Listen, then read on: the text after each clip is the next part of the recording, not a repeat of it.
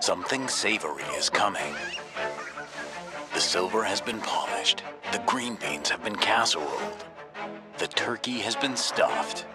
The cranberry jelly is out of the can. The family is all here. The table is set. And the gravy is. gone already? Where's the gravy? Where's the gravy? Good gravy! How'd we run out?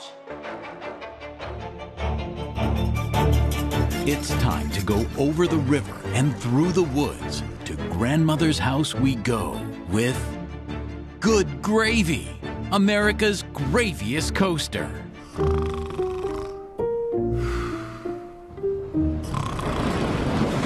Thanksgiving dinner has flown by, but never quite like this. Your journey is nearly 1,500 feet long. You'll soar over 70 feet high, forwards and backwards on Good Gravy.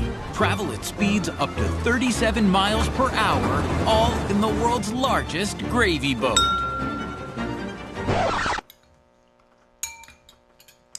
Gee willikers, that's some good gravy. May 2024 to a Thanksgiving themed section of a theme park, possibly near you.